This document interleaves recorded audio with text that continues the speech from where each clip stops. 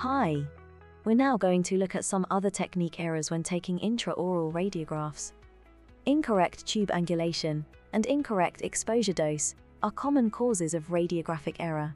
There are many other errors that can be made while taking a dental radiograph. For example, the film may be back to front, so the lead foil is superimposed on the image. It's easy to get phosphor plates or films mixed up when doing a series of exposures, and some films can get double exposed, while others are not exposed at all. Poor labeling can result in not knowing which plates or films belong to which patient if they are saved for end of session batch development. Let's look at a few examples. You can pause the video while you have a think about them, and I'll then give an answer. What's caused the striping on this film? The ancillary collimator has been left in the vertical position from the previous X-ray. Why is this film so lacking in contrast?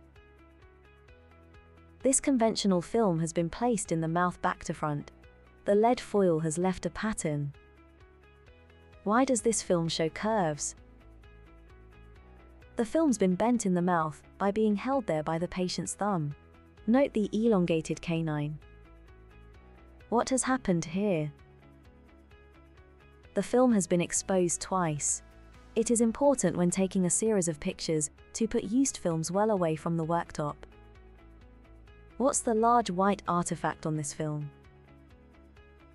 The patient's metal-based partial denture wasn't removed prior to the X-ray exposure. What's this artifact? The patient's nose stud has become superimposed. It should have been removed prior to the exposure. What's caused the problem with this film? The image is elongated, probably due to a bad vertical angulation caused by not using a film positioning device.